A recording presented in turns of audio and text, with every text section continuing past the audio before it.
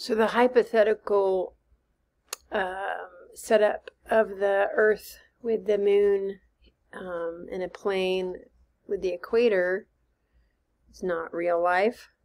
There's the moon at an angle to the rotating Earth.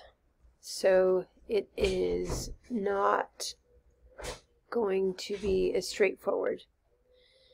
The moon actually oscillates along this 28 and a half degree um, declination away from that equatorial plane throughout the month.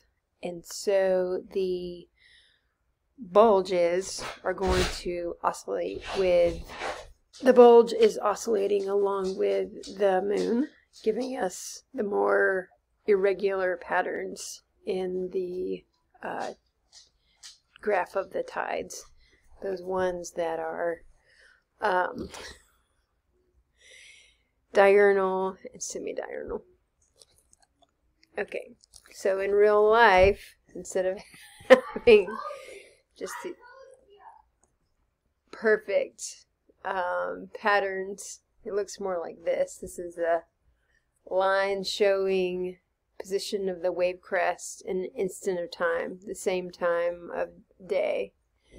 So the wave of the tides is not a real perfect pattern.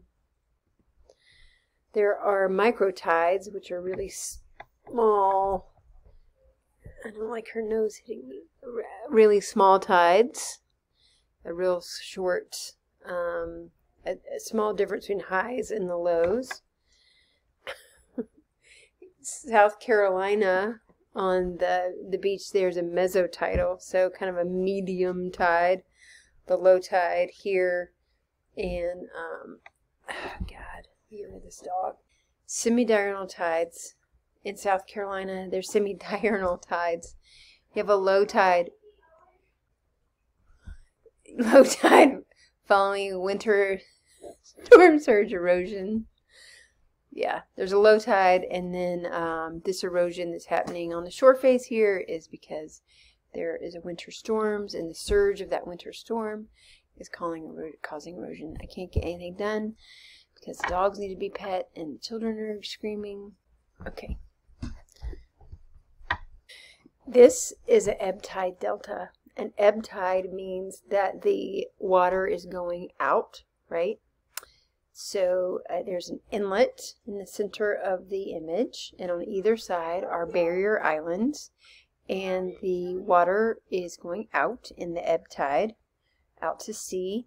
And it's creating what we call the ebb tide delta. So these sandbars offshore are the ebb tide delta.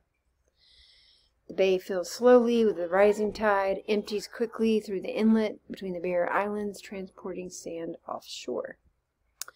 Semi-diurnal tide. This is um, high tide, the winter profile on a stable beach in Long Island, New York. So this is a pretty stable beach. Um, and high tide line would be where these sticks are.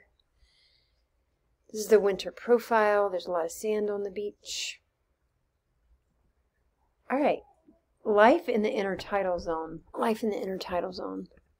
The um, organisms in the intertidal zone are specifically adapted to be there. You can imagine there's lots of energy that um, the ebbs and the um, flood tides coming in and out. There's a lot of water moving through that system.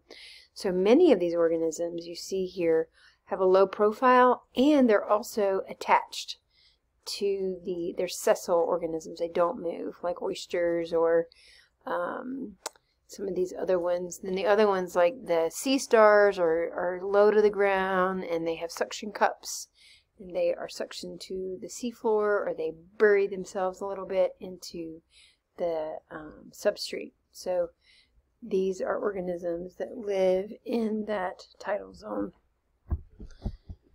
Uh, here's life that gets exposed at low tides. Um, I move my face. These little um, uh, sand um, fleas. They those are in the swash zone, right? When the uh, waves come up, you'll see them rolling around in the water. Then we have um, more like barnacle organisms that can be exposed. And then um, many organ animals understand the spring tides. So uh, animals will um, reproduce, like the sea turtles. They will, um, this mama sea turtles climbed away up the beach to lay their eggs like on the edge of the dunes because they know the spring tides can be pretty high. And um, yeah, that's it. We made it to the end.